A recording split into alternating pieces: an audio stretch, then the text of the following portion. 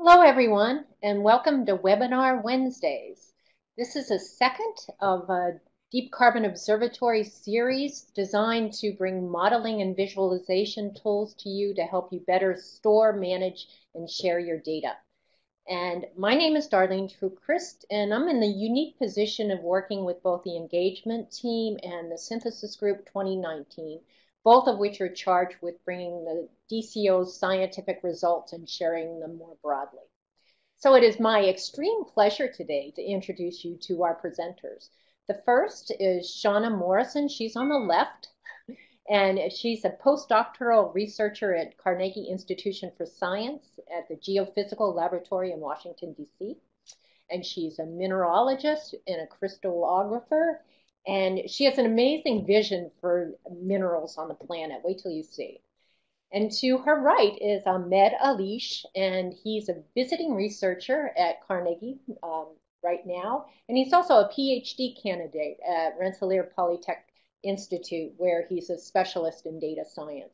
And Ahmed is going to demonstrate his remarkable ability to apply these data science skills to network analysis or science data. It's really, it's fascinating. I'm really excited about this one. But before we start, a bit of housekeeping. Um, the presenters will present for 25 minutes approximately, and then there will be 15 minutes for questions and answers. So should you have a question along the way, just simply type it into the chat window on your screen, and uh, Shaunna and Ahmed will do their best to answer any and all questions. So with that, I'm pleased to turn it over to our experts. Shaunna? Thank you, Darlene, and thank you all for joining us. Uh, we're really excited to have the opportunity to uh, tell you about networks and network analysis, which is an approach to analyzing and visualizing multidimensional data. Uh, so for today's webinar, we're going to focus on networks relating to the diversity and distribution of minerals on Earth's surface because that's my area of expertise. And so we have lists of mineral occurrences all over the globe, uh, data on the properties of these minerals, and information on their geographic and geologic settings. While we're talking about mineral networks today, uh, we're not restricted to these types of data. In fact, uh, we're surrounded by and even made up of natural and artificial networks. Uh, they're the relationships between us and our peers, the map of electrical impulses in our nervous system, and the destinations on our vacation itineraries. As far back as 1735, with the Königsberg Bridge problem, mathematicians have employed quantitative methods to characterize networks, to solve network problems, and even to create new networks. Uh, nowadays, network science is a field that draws from mathematics, computer science, and other scientific domains in order to provide a set of quantitative tools and methods for researchers to discover and solve problems using data. Now let us look at some real-world examples of networks. One of the most familiar applications is studying social interactions or the relationships between people such as social media, like the network of Twitter users you see here, each of whom tweeted a certain keyword, like DCO webinar. Uh, it could also be a collaboration network, like that of the Keck Foundation Deep Time Data Infrastructure Initiative. Uh, I'd like to note that all the mineral networks we're going to show you later on came from this initiative. We could also characterize the spread of an epidemic, like SARS shown here, by examining the relationships between infected individuals and the hospitals and or airports they traveled through. The knowledge gained from analyzing these systems can help you address many questions, such as to whom should I target my product advertisement? Or which group of collaborators is best equipped to help with my research problems? Or importantly, what precautions can the CDC or the World Health Organization take to limit the spread of epidemics in the future? We can also look at artificially constructed networks, that is, networks that researchers and engineers deliberately create with a specific purpose in mind. A simple example could be the computer network in your office or university. You know, more complex examples include transportation and telecommunications networks, things like train systems. These are not haphazardly constructed. Network theory is used to optimize metrics such as throughput, coverage, utilization, and efficiency in order to maximize the usefulness of the system while minimizing cost. Another important example is the power grid. Without a well-functioning system of generating and transporting electricity, our society cannot function. Anticipating the needs of the users in the network all the way from small single-family homes to large industrial factories is critical to determining the amount of energy each power plant must produce. An additional complication is that these calculations need to be done for varying timescales, from daily to monthly to yearly and even tens of years. Now, besides networks in the physical world, networks are also the basis for the cyber world. For example, all the sites you visit on the web are part of a large, ever-growing network. Here we can see the hyperlinks between, the number, between a number of informational websites, including Wikipedia and news outlets. Wikipedia is a repository for knowledge and information, and as you would expect, uh, it's right in the middle of the network. It sounds intuitive and could be guessed by looking at the data, but it's much more visually affirming in the network. Uh, additionally, networks are a great way of organizing human knowledge and teaching about new concepts and how they relate to each other. For example, mind maps, like many of us are familiar with, and you can see here, um, so essentially, networks don't just apply to the physical world, but also to concepts, thoughts, and ideas, which illustrate the flexible nature of network theory. So now we've given you a few well-established examples of networks and their powerful uses. Let us take a step back a bit and describe the actual components that networks are made of. A network, which is equivalent to a graph from graph theory in discrete mathematics, consists of a set of vertices or nodes and a set of edges or links. Each of the edges in a network, or each of the vertices actually has a unique label, and so do each of the edges. As you can see in the first figure here, these two nodes labeled V1 and V2 are connected by edge E1, which represents a relationship between these two nodes. Now, beyond the basic structure of the network, there are a number of ways in which the network can be modified to illustrate important features of the data. For example, nodes can be shaped, sized, or colored to represent attributes in the data. As you can see, these nodes, two nodes here have different shapes and sizes, also different colors. Now, values can also be assigned as weights to the edges, giving relative strengths to the relationships between the nodes. And edge thickness, color, and transparency as attributes can be used to characterize these relationships. Now, the ability to display many attributes at once is one of the biggest advantages of using network representations and turns them into powerful data exploration tools. Now we will step through the process that we follow to create a network representation of a dataset. The first step is acquiring the data, right? Here, for example, we have mineral occurrence data, where each row represents a certain mineral found at a certain locality on the Earth's surface. So a mineral locality pair, if you will. As you can see in this first line, malachite, for example, is found at a location called Miramor District. Now, Remember, we're using mineral distribution data here, but as we showed in the previous examples, these methods are applicable to data from many different domains. Now, the second step would be to process this data to find which minerals coexist with which, which is the basis of the network, really. And you can do this in your favorite data science platform. We're using R and RStudio because it's free, accessible, and open source. So what we are doing is basically going through the dataset and counting the co-occurrence of each pair of minerals in order to assemble what we call a mineral coexistence matrix that you see on the right. Now, the names of the, of the rows and columns, um, they represent distinct mineral species, and the values within the matrix itself represent the frequency of co-occurrence of each two minerals. Third step, we create the network structure. That's to say the links and the nodes. Now the links is just, or the table on the left, is just another way of looking at this coexistence matrix it lists the pairwise relationships, and this value column you see applied or uh, mapped to each of the relationships, it really is just a normalized version of the frequency of co-occurrence. Now, the table on the right is a list of all the minerals taking part in the network, in addition to some known attributes of these minerals, things like redox state, color, luster, and hardness that are collected from literature sources and other databases. Now, once we have these two objects, the final step is to actually visually render the network and apply any annotation and filtering to the diagram. Rendering the diagram involves first selecting a layout configuration. Now, the layout can be a static layout for ease of readability, or it can be a dynamic layout, such as force-directed layouts that we commonly use. Now, force-directed layout methods, they stimulate attractive and repulsive forces between the nodes to find the optimal configuration. In addition to the, lay the layout of the nodes, um, the nodes and the links themselves can be colored, as we said previously, shaped and sized to demonstrate different attributes. In this network of copper minerals, nodes are sized by frequency of occurrence. Link distances are constrained by the strength of the relationship, um, such that minerals that occur frequently together are closer to each other.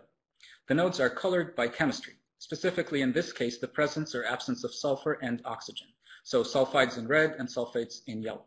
You can see they separate pretty well within the network.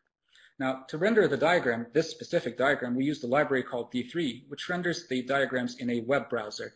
Um, allows a high level of customization, but there are many packages and libraries that achieve the same purpose.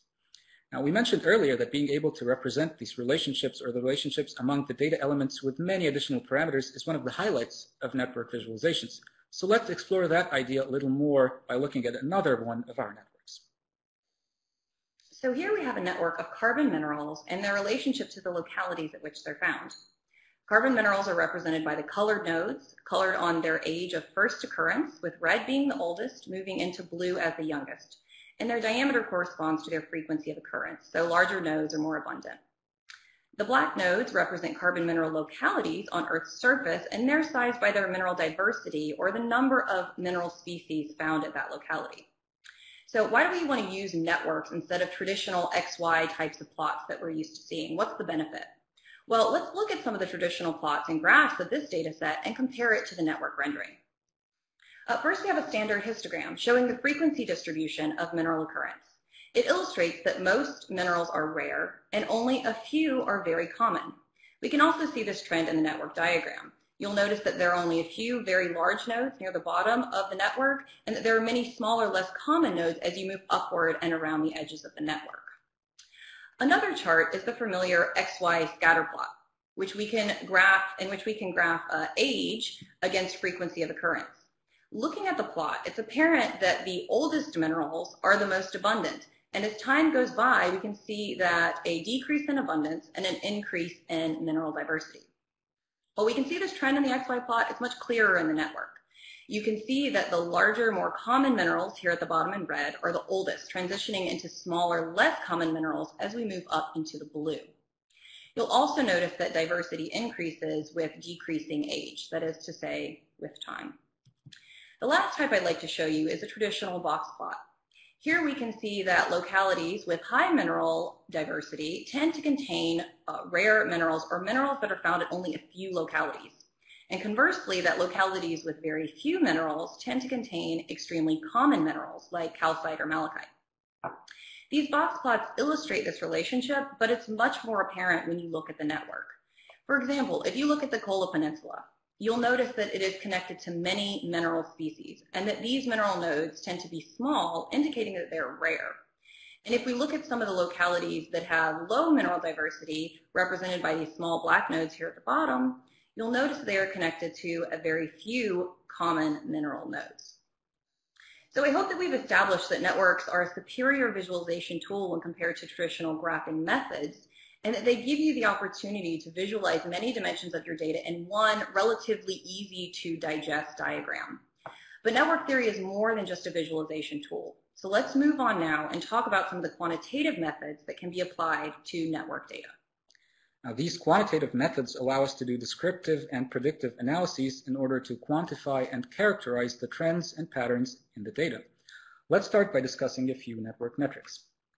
The first thing to mention is that there are two distinct types of metrics. The first is local, which gives us information about a single node in a network. The second is global, which tells us about the network as a whole. Local metrics can answer questions like how important is one particular node in the network and does one node communicate between two separate groups of nodes in a system? Global measures can tell us things like whether or not the network is highly interconnected or if there are distinct groups or clusters of nodes. Now let's look at a specific, a few specific local measures, um, degree, distance, and betweenness. Note that there are many, many more metrics that you can use with networks, we just wanted to show you a few quick examples. Firstly, degree. It's a very straightforward concept. It's just the number of links connecting to a particular node, as you can see in the diagram here. The degree of the node in the middle is 5 because there are 5 incoming or outgoing connections. Now the concept of distance in networks is defined as the geodesic or shortest path between two nodes. So for any one node, there's a whole distribution of distances really. We can look at the maximum, the minimum, the average, and so on.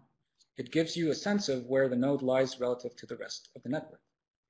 Lastly, betweenness is a measure of the number of geodesic paths that pass through a given node. Essentially, it tells us how many shortest paths must pass through this node. Or is it a broker in the network, as you can imagine, a middleman that connects or communicates between distinct separate groups? So now let's move on to global measures, which are generally more important in our studies of mineralogical systems, um, but that may not be true for your data sets, or you could be more interested in local measures. Again, there are many metrics, but we're interested in, uh, but we're just going to mention a few, uh, specifically density, diameter, uh, degree centralization, and betweenness centralization. Density is a simple measure of the interconnectedness of a network. It is the number of links divided by the maximum number of possible links in the network. If we take a look at an example, you'll see that a highly interconnected network has a high value of density, like in the network on the right you see here. Uh, the next metric is diameter. We mentioned distance when we talked about local metrics, and it's related to a network's diameter. Diameter is the longest geodesic distance in the whole network. So essentially, it's the maximum degree of separation, a concept I think most of us are pretty familiar with. Uh, we can also look at the mean distance if we're interested in the average degree of separation in a network. Uh, lastly, I'd like to mention the centralization measures. Centralization is a measure of how central a network's most central node is relative to the rest of the network. It gives a sense of the uniformity of the network topology and its interconnectedness. The difference between degree and betweenness centralization is simply whether you're interested in how interconnected the nodes are or if you're interested in studying the degrees of separation and determining if there are a few key broker nodes. so here we have a table of metrics compiled for three mineral systems. Minerals found in igneous rocks, copper minerals, and chromium minerals. We can visually see that these networks are quite different, but their differences can be quantified uh, by the measures in this table. For instance, we can see that the igneous minerals have a very high density, indicating that it's a highly interconnected network, especially when compared to chromium minerals, which only have 5% of the possible connections in the network.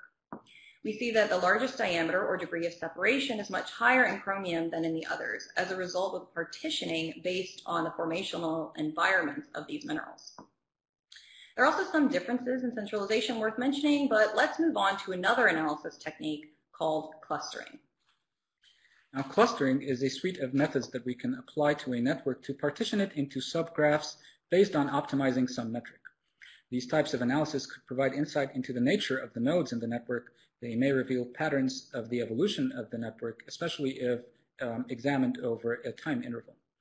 Um, they can also, or studying the, actually the relationships between the subgroups or the partitions found within the network can also give us insight.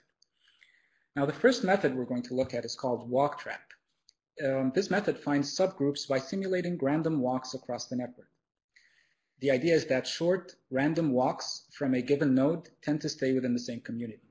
So if you start walking or hopping from one node with a set maximum number of steps, let's say five, and you do this for all nodes in the network over and over again, you end up with a separation of the nodes based on these walks. As you can see here with WalkTrap, we get a really nice separation of the um, network, and these partitions actually reflect, reflect the formational conditions of chromium minerals. Now, another method called Louvain clustering takes a hierarchical approach where it starts with each node in its own cluster, and then it iteratively uh, merges clusters together while computing a modularity score for the entire graph. Now, by optimizing that score, the algorithm arrives at the final assignment of clusters as you can see, we get a slightly different segregation here than we did with WalkTrap. Now, the choice of which algorithm to use or which method to employ really depends on the type of data and the questions being asked.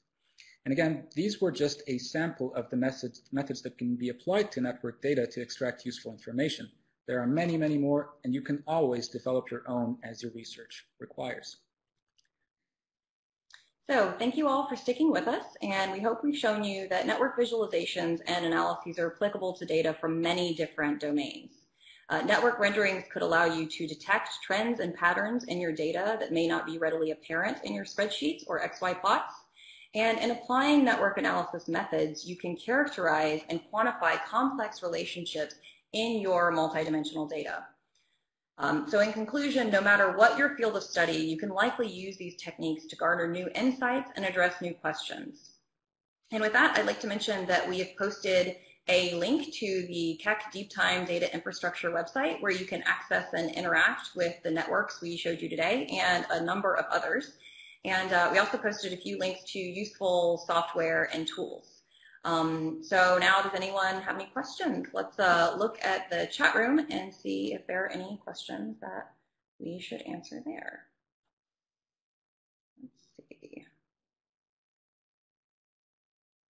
All right. Well, we don't have any questions. Hi.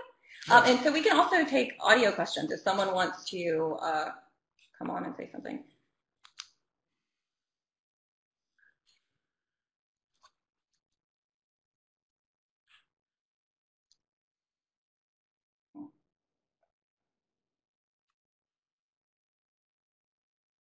Great. So the first question is regarding the libraries you use. Mm -hmm. So do you mean an R? Yeah, so let's, for example, separate between the processing of the data and then the rendering of the network. In terms of processing, as I said uh, um, in, um, during the, the presentation, we use R to just read in the data, to manipulate it, reshape it, to put it in the right form for the network but you can easily, as easily use Python and do that in Jupyter, for example. So that's an, sort of an intermediate step. It's just getting the data in the right form. Now, for rendering the network, we've been mostly using D3. D3 is a it's a web uh, development uh, library. It allows you to create renderings and, and visualizations of all types in a browser. It's meant for customizability and interactivity, so you can actually add buttons and, and things to change around the network and dynamically re-render it based on filters and, and, and so. Um, we've posted the links. They should be up on the webinar page. Uh, but yeah, but there are many many packages within R, like iGraph, for example, or Network D3, or and, and a number of others that allow you to do both things, manipulate the data or create the network structure and render it, and also do analyses. Um, so yeah, please take a look at the links, and if you have further questions about the libraries that we're using, feel free to contact us. And the next question is, what was the original source of the mineral data. So uh, these data actually came from uh, many different places. Uh, some of you might be familiar with mindat.org, which is a crowdsourced uh, mineral locality database, which has hundreds of thousands of uh, data entries on uh, mineral locality pairs, like we mentioned earlier. Um, so that's a really powerful tool. we also went to literature resources to find this information, so papers, books, um, I did a pretty exhaustive search. Uh, also, the RRUFF Project database um, at uh, rruff.info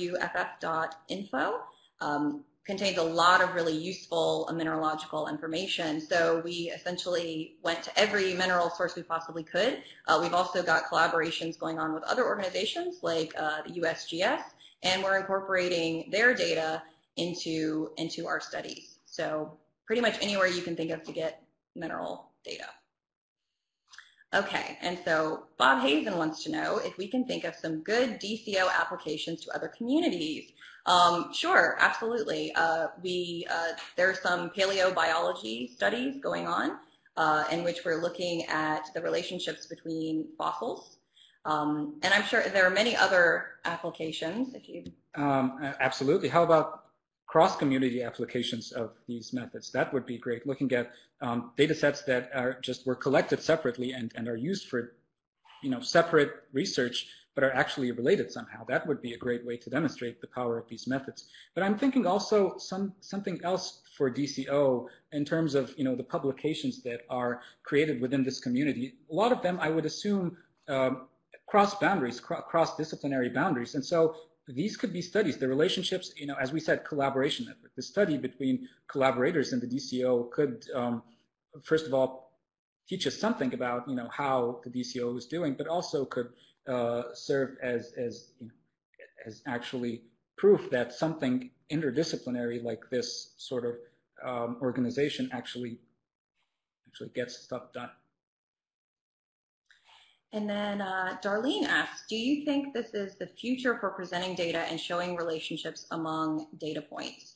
Um, I certainly think it's part of the future. Uh, it, it's a great way to be able to look at many facets of your data at one time and to be able to see relationships that you would never see when you're just looking at a spreadsheet. You know, when you have thousands and thousands of rows and hundreds of, of columns, you're just not going to see it there. Um, so I think it's certainly the way we should be heading uh, with data visualization. And I also think uh, there are a lot of really powerful statistics that you can do uh, on the, your data sets uh, to get a lot of information about that. We didn't go too much into that today, um, but there are a lot of techniques you can use, and I think that's really powerful. So anything where you're you're looking at correlations amongst many different parameters is is way more powerful than uh, you know an XY sort of study. And, and an interesting point there is that you don't throw away the let's say the, the previous structure that you have this spreadsheet form. All the data within a spreadsheet is still it's still embedded within the network. It's just that the network captures functional um, relationships rather than just attributes or similarity of attributes. Great. So do we have any other questions, either in the chat or with audio?